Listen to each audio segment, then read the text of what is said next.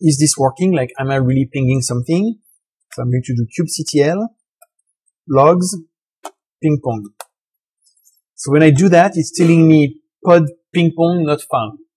Yeah, because the name of the pod is not ping pong, it's ping pong dash 787, etc., etc., etc. So here I have two options. Either I put the exact name of the pod, um, and then it's going to show me like the classic output of a ping command, or I could also put kubectl logs deploy slash ping pong, and then I get the same kind of output.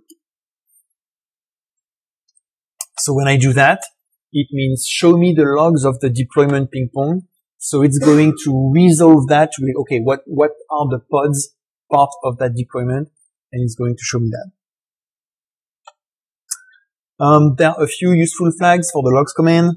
Like I can use um, dash dash follow, which means continue to stream the logs in real time. There is also dash dash tail, which means instead of uh, flooding me with the entire log of the container, just show me like the last line, for instance.